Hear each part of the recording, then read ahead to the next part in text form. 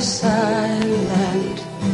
We left as inmates from an asylum, and we were sharp, as sharp as knives, and we were so gone.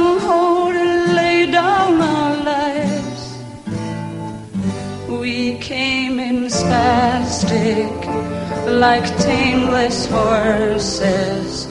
We left in plastic as numbered corpses. And we learned fast